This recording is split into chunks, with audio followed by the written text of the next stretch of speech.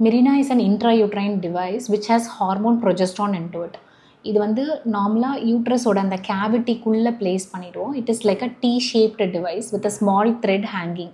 Mirena எங்கெங்கெல்லாம் use பண்ணுவோன்னா abnormal uterine bleeding அதாவது ப்ளீடிங் இர்ரெகுலர் பேட்டர்ன்ஸில் இருந்துக்கிட்டே இருக்குது அப்படின்னா Mirena will be used for and sometimes ரொம்ப severe pain during menses because of adenomyosis or அப்படி இல்லைனா எண்டோமெட்ரியோசிஸ் இதனால் ரொம்ப severe pain either during menses or otherwise அப்படின்னா this Mirena will be used it will give an absolute pain relief and excessive bleeding also will be brought under control and towards the menopausal time ரொம்ப irregularity in periods and fluctuations twenty days once வருது ten days once வருது வந்தால் ten fifteen days இருந்துகிட்டே இருக்குது அப்படின்னா that is where Mirena is used it is also used in adolescence or young girls when there is a PCOS with an abnormal uterine bleeding it can still be used and last but not the least mirina is also used in cases where குழந்தைங்க இல்லை ஆனால் யூட்ரஸில் வந்து ரொம்ப early changes of cancerous cells மாதிரி இருக்குது அப்படின்னா Mirena will be used to revert the condition